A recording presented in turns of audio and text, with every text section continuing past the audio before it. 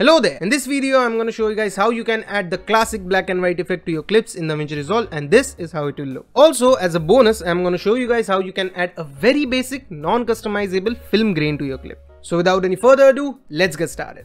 Now as you can see, I've taken this widescreen video in my timeline which I've downloaded from mixkit.com. Great website if you want to download stock footage. The link to the website is available in the description. You can go right ahead. Alright, so the first thing that I'm going to show you is how to add the black and white effect. Now DaVinci Resolve doesn't really have a drag and drop effect for black and white.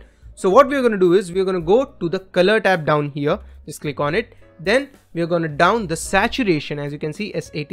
Click on it, drag it all the way down to left and make it zero. And we have a black and white clip. But if you look at this clip, it lacks contrast. So what we're going to do is we're going to add a bit of contrast to it. There is a contrast option right here, but we're not going to use that. We're going to use something that is much more customizable, much more flexible. So we're going to use curves. Now you might ask me what are curves? Someone who uses Photoshop must actually know what are curves, but I'll teach you it in a simpler manner. What we are going to do is just click on this line right here, up here and down here two dots okay one two now the dot that is on the bottom left if you drag it down it will make the dark colors more darker so as this is a black and white footage it will make the blacks blacker if I drag it down. So this was the normal thing.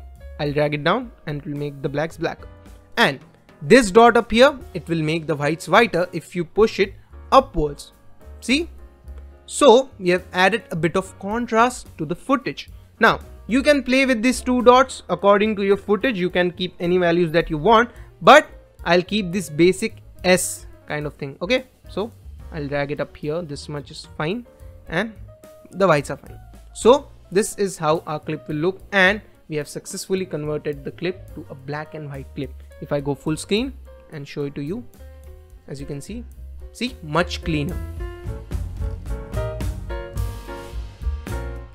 Alright, so the first part is done. We have converted the clip to black and white. Now, like I said, we're going to add a very basic, non-customizable film grain. How we're going to do it? I've taken this little clip of film grain from YouTube. The link to the video and the download link both are available in the description. You can download it from there. Just to mention it again, I do not own this clip. All credits to the owner. Thank you for providing with this clip. Now, all we have to do is drag in this clip above the clip that you're using. Now, I'm just going to zoom it in a bit. 1.130 will do it.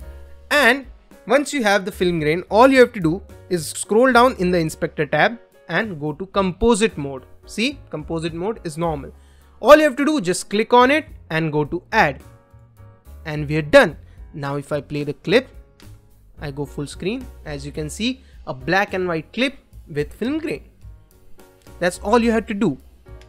Now if I go back, if you think that the film grain is too fast or too slow for you, just basically right click on this go to change clip speed and just take it down to let's say 50 and you're good to go. And I'm gonna cut all of this part out because we don't need it. And we have the final clip.